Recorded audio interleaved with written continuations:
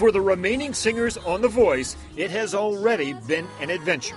Just seeing the coaches' chairs turn around. So that's something that I will never forget.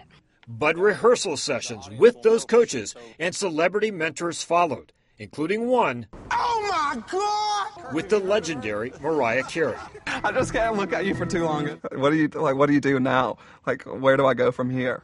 Tonight's first live show promises to keep that energy going. We're all really, really excited to like get just like this next level of performance.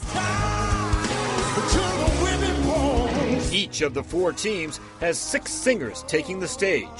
They can only train you so much, but then you just kind of have to maybe forget that it's live.